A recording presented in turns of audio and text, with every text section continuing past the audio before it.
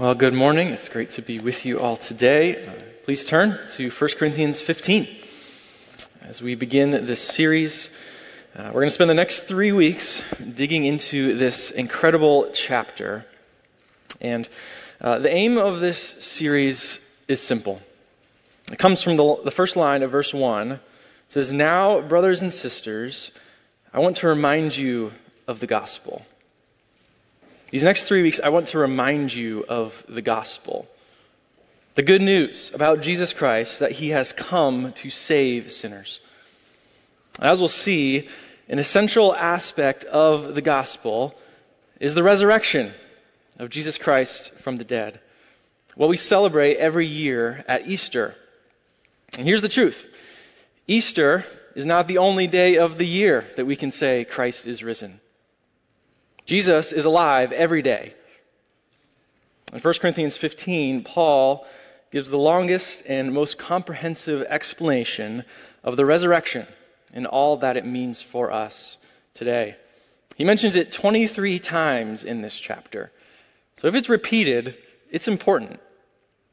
So as we go, we'll see that the resurrection has immense implications for our lives. You know, there are some specific days that have had a monumental impact on the course of history. If I were to say December 7th, 1941, some of you know what happened that day.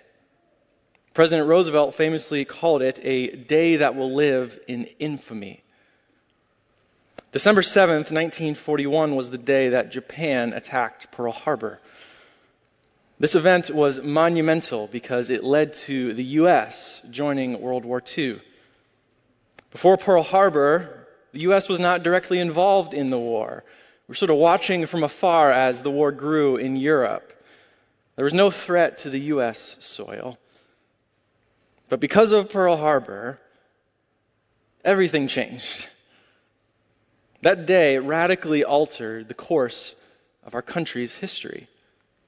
So I can confidently say, in a even more significant way, that the resurrection of Jesus changes everything. It's the title of this series. This changes everything. The resurrection was a monumental event that declared Jesus' victory in the past, that transforms our lives in the present, and gives us an unshakable hope for the future. So that's where we're headed these next three weeks. But today, we're going to look at the first few verses and focus on the victory that Jesus has won through his resurrection. So, the first part of our passage, we see that victory declared. Would you read along with me? 1 Corinthians 15, verses 1 and 2. Now, brothers and sisters, I want to remind you of the gospel I preached to you, which you received and on which you have taken your stand. By this gospel you are saved, if you hold firmly to the word I preached to you. Otherwise, you have believed in vain. You know, people can be forgetful sometimes. Have you ever been in a situation where you're meeting someone for the first time? And one of the questions you ask when you meet someone for the first time is, What is your name? And that person tells you their name, and then as you go throughout the conversation, you realize, I have no clue what this person's name is. It's, it's not that you, you didn't know, you just didn't remember. So, in that situation, you know that they already told you, so you don't need any new information. Rather, you just need to be reminded of what you've already heard. So, this is similar to what Paul is facing with the Corinthians. You know, we know Paul spent 18 months in the city of Corinth during his second missionary journey.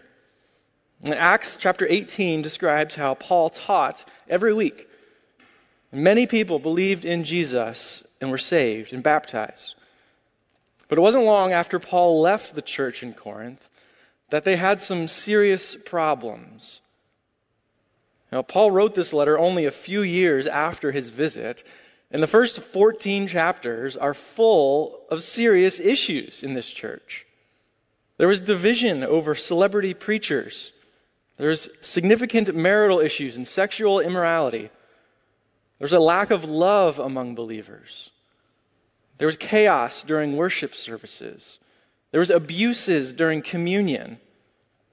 So imagine Paul hearing about all these things happening. he's wondering, like, what happened? Did you forget what I taught you just a few years ago?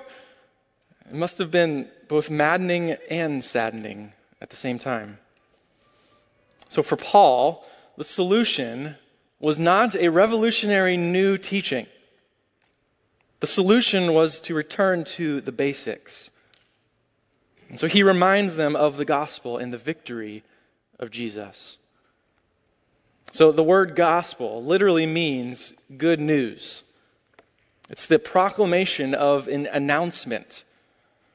In ancient times, it was a political word, announcing military victory over the enemy, or even the birth of a new king who would come and bring peace to the kingdom. So, it makes sense that this word, gospel, would be the word to describe Jesus and what he has done for us. He's the king who has come and defeated the enemy of sin and death.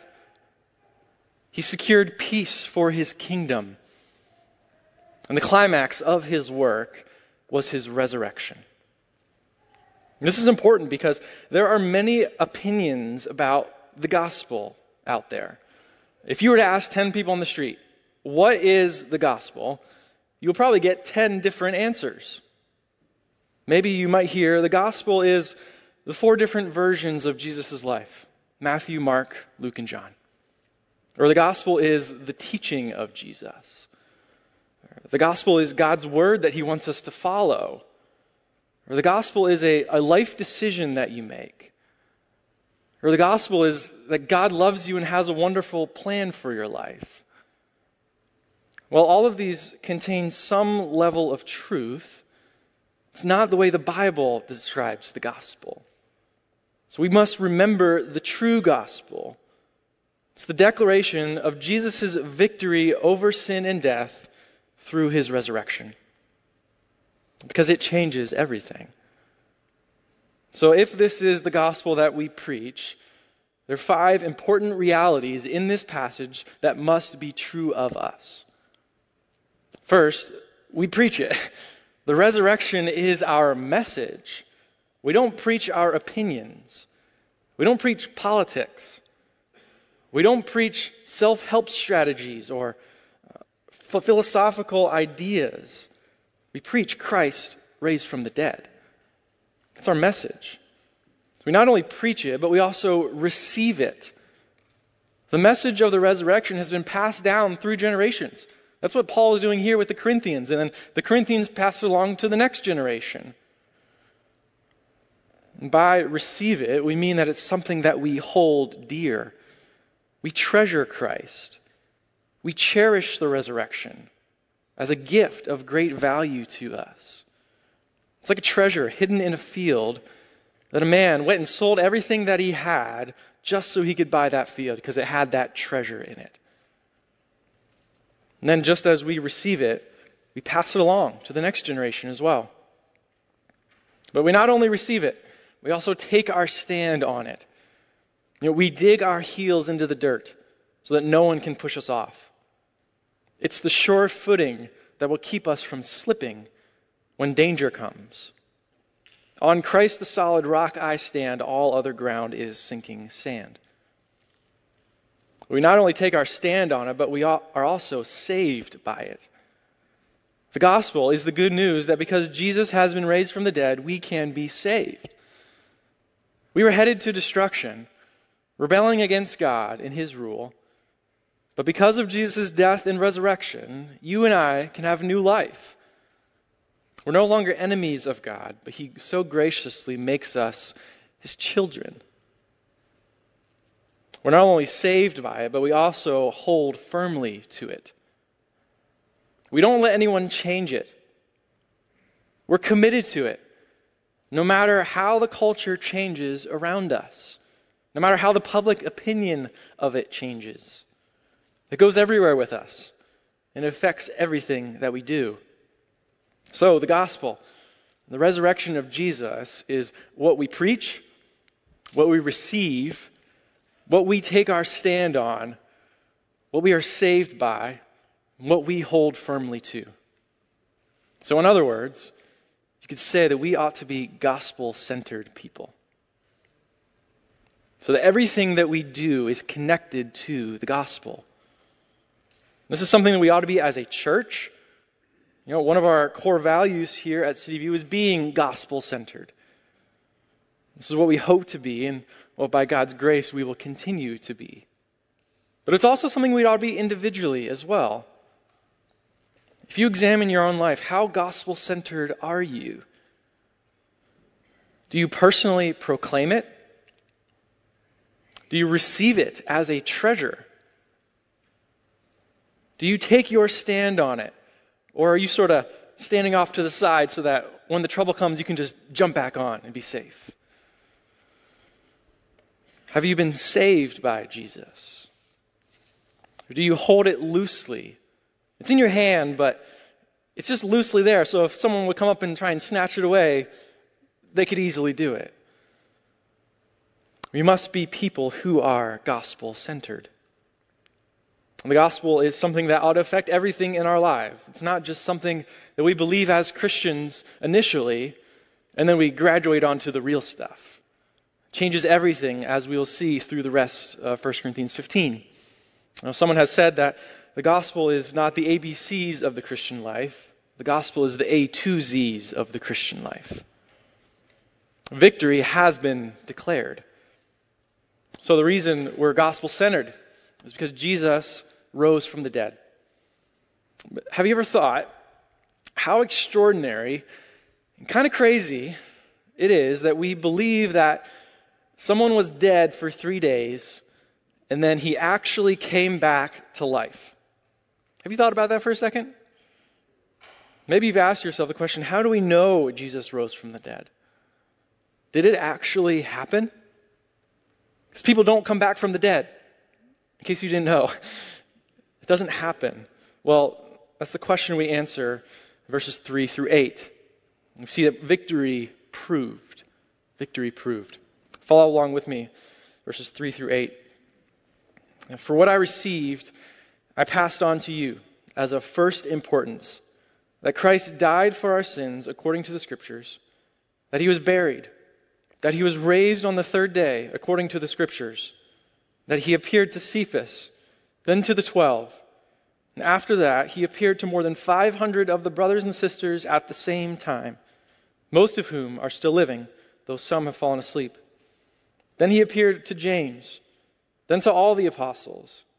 And last of all, he appeared to me also as to one abnormally born. He received victory proved. You know, there is a popular show on Animal Planet called Finding Bigfoot. It's been around for 12 seasons now, and the show follows so called Bigfoot experts as they travel across the country investigating Sasquatch sightings. So, what they do is they go to these small towns and they visit with the locals and they hear their stories of encountering Bigfoot in the wild. And then they go on night excursions where they try and find Bigfoot for themselves. And almost every episode, they're doing their thing, they're out in the woods, it's the middle of the night, everything's quiet, it's dark, they're by themselves, and all of a sudden, a stick breaks or they hear an animal noise in the distance. All of a sudden, they get the tingly feelings on their arms, and but nothing else happens, and that's it. and then they go back, and the next morning they're debriefing the encounter, everything that happened in the previous night, and they always end each episode by basically saying, "We heard something. It's probably a Bigfoot." So tune in next time to see what happens next. And the fact that it's been around for 12 seasons and they're still searching for Bigfoot probably tells us something about the merits of the show, doesn't it? All it takes is one clear, undisputed video. I'm not saying that Bigfoot isn't real. He may be. I don't know. But we have to be honest. The best we can say is that the evidence is questionable. There's no certainty, there's no unbiased consensus here. There's no consistent testimony, or else the case would be closed. I think some people treat Jesus like Bigfoot, sort of relegate him to the realm of mythical creatures that some unreliable, maybe some questionable people have claimed to encountered, but to the intelligent and the enlightened, we all know it's a hoax. Nothing could be further from the truth. The resurrection of Jesus is nowhere near the same level of historicity as Bigfoot. It unequivocally surpasses Bigfoot in every single way. And Paul goes to great lengths to prove that right here. Paul quotes what most scholars agree is an early Christian creed, sort of like how we said the New City Catechism earlier in the service. It's a summary of what the early Christians believed about Jesus. This creed was very clear from the beginning of the church. This is what the apostles preached from the very beginning, just a few days after Jesus had left the earth. Peter, one of the apostles, he preached this in the very first Christian sermon after Pentecost. This is what he said. He said, This man was handed over to you by God's deliberate plan and foreknowledge. And you, with the help of wicked men, put him to death by nailing him to the cross. But God raised him from the dead, freeing him from the agony of death, because it was impossible for death to keep its hold on him. Acts 2. So, this is the message that the apostles were preaching from the very beginning. This is what Paul summarizes here in this passage, then he gives evidence to why it's true. The message is straightforward Jesus died for our sins, Jesus was buried, Jesus was raised on the third day, and Jesus appeared to many witnesses. That's the message. And the first reason Paul gives as evidence to the truthfulness of this message is that all this happened according to the scriptures. We see it twice, this phrase, according to the scriptures. The resurrection of Jesus was God's plan all along. And it was prophesied all throughout the Old Testament. So, what I want to do is, I want to go through some of the passages in the Old Testament that point forward to Jesus' resurrection. There's a lot, so we're going to go through these quickly. So, fasten your seatbelt, get your pen ready. Here are just 10 passages that show the resurrection of Jesus was according to Scripture. Job 19, 25 and 26, Job says that he knows his Redeemer lives, and he has hope that he too will live even though he dies. Psalm 16, David rejoices in knowing that God will not abandon, abandon his anointed one to the dead. God will not let his Holy One see corruption. In Isaiah 25, Isaiah prophesies that God will swallow up death forever. The passage that's quoted later in 1 Corinthians 15. In Isaiah 26, Isaiah prophesies that God's people will live, they will rise from the dead. In Ezekiel 37, Ezekiel prophesies, in the dry bones in the valley, that famous passage, come alive by the power of the Holy Spirit. In Hosea 6, Hosea prophesies, says that after two days, God will revive his people, and on the third day, he will restore them. In Hosea 13, God says that he will deliver his people from the power of the grave. And he says, Where, O death, are your plagues? Where, O death, is your destruction? Also quoted later in 1 Corinthians 15. Daniel 12 speaks about the resurrection, some to eternal life, and some to eternal punishment. Isaiah 53 speaks about how the Messiah, after he has suffered, he will see the light of life again. And Jesus himself references Jonah in the belly of the whale for three days as an image of his own death and resurrection. Do you get the point? We could keep going. We can have confidence that Jesus rose from the dead because the Old Testament anticipated it all along. But Paul doesn't stop with the Old Testament. The second reason Paul gives as to why we can trust that Jesus rose from the dead is that there are credible eyewitnesses to his resurrection. He lists all the people that saw Jesus and could testify about it. He mentions Peter or Cephas. He mentions the 12. He mentions a crowd of 500 people at once that saw Jesus in his resurrection body. You can't fake a crowd that large. He mentions James. James was Jesus' brother who was skeptical at first, but then eventually believed.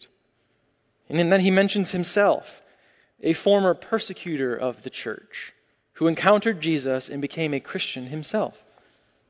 Most of these people were still alive at the time. So Paul is up for the challenge. You know, he's saying, hey, they're still alive. All these people have seen Jesus raised from the dead. Go talk to them, and they'll tell you what happened. They're not hallucinating. It wasn't just a dream that they were envisioning. But even more than all these witnesses, the fact that the disciples immediately began preaching boldly after Jesus left is astonishing. See, crucifixion was a horrible way to die. And no one in their right mind would, would identify themselves with the guy who was just crucified because they knew they would be next unless they knew he was alive. The fact that women were recorded in all four Gospels as the first witnesses to the resurrection is significant. Women back then did not have the same legal standing as men. Their testimony wasn't allowed in court. So if the disciples wanted to fabricate a story about Jesus, it makes no sense that they would have women as the first people to witness it. No one would have believed them unless it was actually true. The fact that Jesus' tomb was empty is significant. All the authorities had to do to stop Christians was to produce Jesus' body. They just had to go to, the, go to the tomb, pull out the body, say, Look, he's still dead. But they couldn't. They didn't. Instead, they came up with excuses as to why the tomb was empty, none of which make any sense. And finally, the New Testament accounts of Jesus' life are incredibly reliable. There are no other ancient documents like the Bible. They have so many manuscripts, have so many internal consistencies that have been preserved so well throughout history. We could keep going with even more reasons if we had time, but the eyewitness evidence is clear, the scriptural evidence is clear, and all of it points to Jesus actually rising from the dead. Maybe you've heard these before. Maybe this is the first time you're hearing these reasons. My point in sharing this so that you will have confidence. Confidence. If you're a believer in Jesus, know that your faith is not built on wishful thinking. We're not just spiritualizing here. We have historical grounding to believe what we believe. We have good, solid reasons for it. This should give you confidence to face doubt, especially when you face a kind of spiritual vertigo. When you have vertigo, I know from personal experience, I'm sure many of you know from personal experience, your head is spinning. You can't stay balanced. You feel like you're falling over. Your vision can't be trusted. The only thing you can trust when you have vertigo is the ground. You know that the problem is in your own balance. The ground isn't going to move. You might need to lay there for a little while before you can get back up again. In a similar way, you might face a time in your life that feels like a spiritual vertigo. Your emotions are spinning. Your doubt is disorienting. Questions are circling. And so, in that moment, lay on the ground Go back to what you can trust. Go back to the truth that Jesus rose from the dead. You might need to stay there for a little while before trying to get back up on your feet again. That's okay. But holding fast to the truth of the resurrection is what will help you work through those questions and doubts. So, if you're here today and you're not a Christian, maybe you're investigating the claims of Jesus, know this you don't have to give up rational thinking to become a Christian. Jesus can handle your questions. The evidence for the resurrection of Jesus is overwhelming. So, what is it that's holding you back from following him? It's much better to be honest about the reasons why we're not following Jesus. And go back to the truth of the resurrection and then give Jesus your questions and trust that He can handle them. If He can rise from the dead, He can handle your questions and your doubts. So, we might be tempted at this point to think that the resurrection of Jesus is just an abstract thing. Leave it to the philosophers and the apologists. It's too much thinking. But Paul makes it clear in the final section of our passage that the resurrection of Jesus is something that we must experience personally. It's not only a victory declared and a victory proved, but it's also a victory shared. Victory shared. Look with me, verses 9 through 11. It says this For I am the least of the apostles, and do not even deserve to be called an apostle, because I persecuted the church of God. But by the grace of God, I am what I am. And his grace to me was not without effect. No, I worked harder than all of them.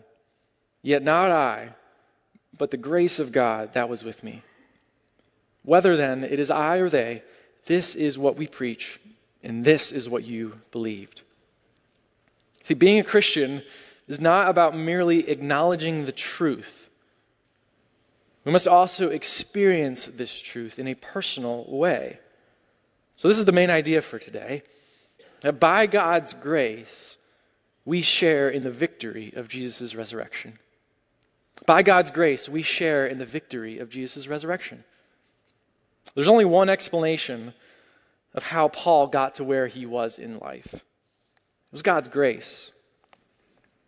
Grace. What is grace? Grace is undeserved favor. Paul Tripp, a present day author, he has a very helpful way in describing God's grace. He says, You need it, you can't live without it, but you can't purchase it or earn it.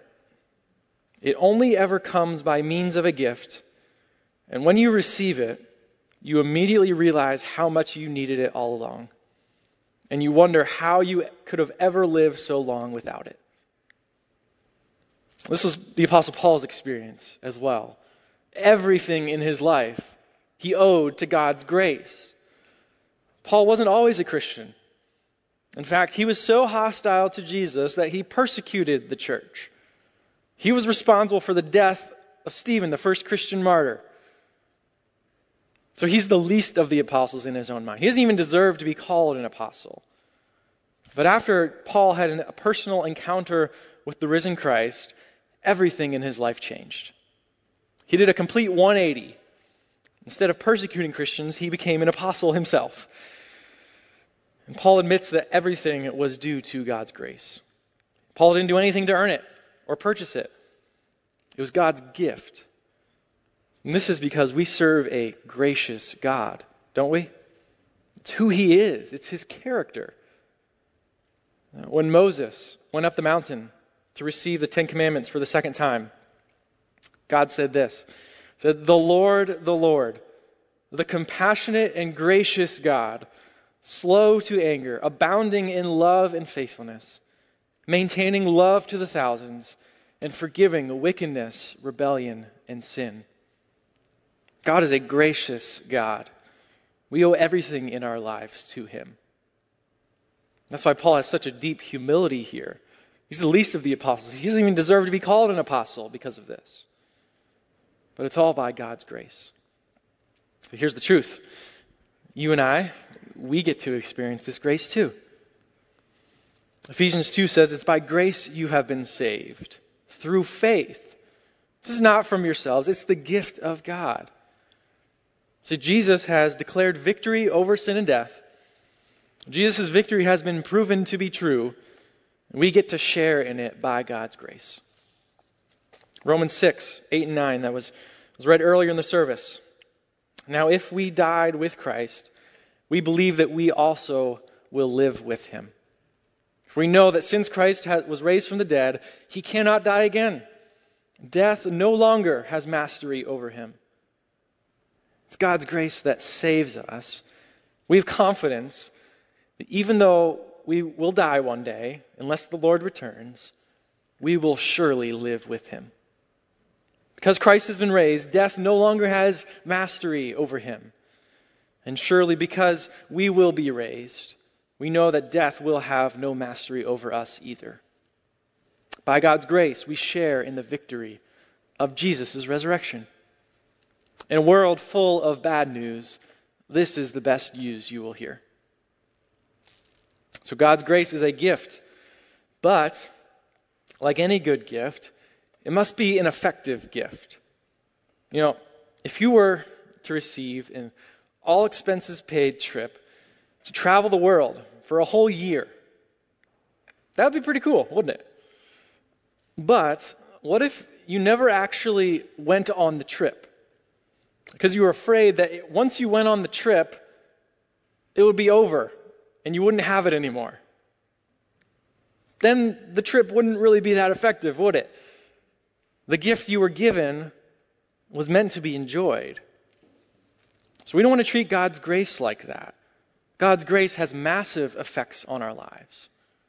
The rest of 1 Corinthians 15 talks about this, and we're going to go through those in the coming weeks. How God's grace and the resurrection of Jesus affects our lives today in the present, but also affects our hope for the future. So here we see Paul describe just one effect of God's grace in his own life. It's that he worked hard. He worked hard. But he knew it was God's grace working through him. Here's a, a paradox in the Christian life.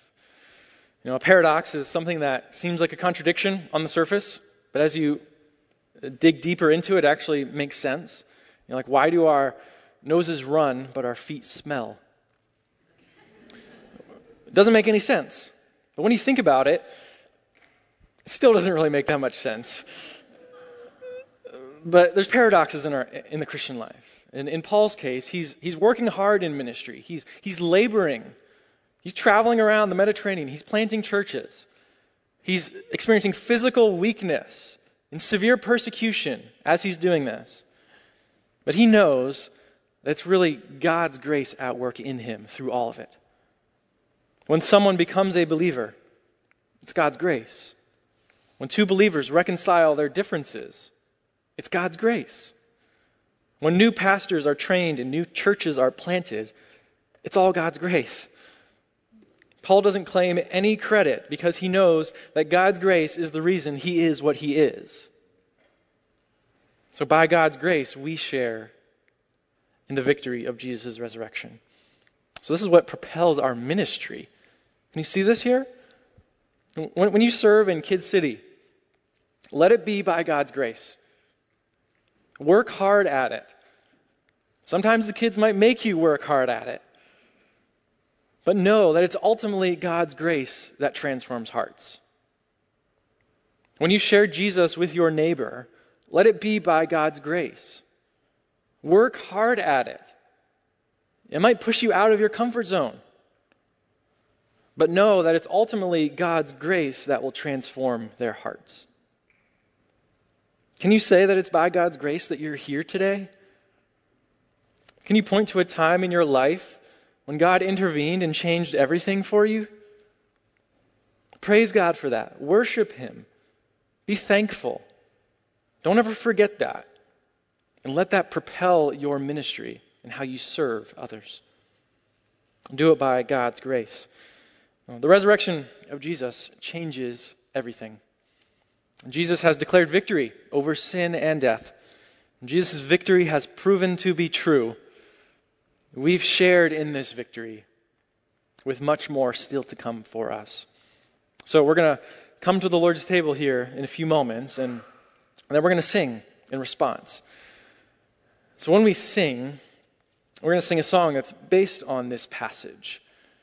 And I think a fitting way to end is with one of these lines. It goes like this No fate I dread, I know I am forgiven. The future sure, the price it has been paid. For Jesus bled and suffered for my pardon, and he was raised to overthrow the grave. To this I hold, my sin has been defeated. Jesus, now and ever, is my plea. My chains are released. I can sing, I am free. Yet not I, but through Christ in me. What a great line to sing, isn't it? Let's pray together.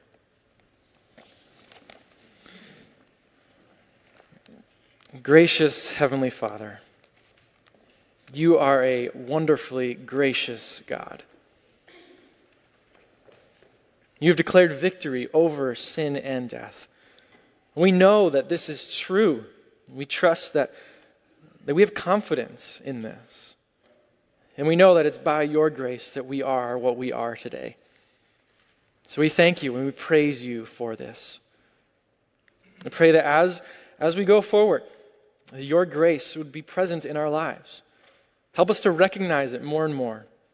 And help us to let it propel our ministry and how we serve one another. And pray that you would help us do this by your Spirit because it's by your grace that we are what we are. So we love you. We thank you. And we pray this in Jesus' name. Amen.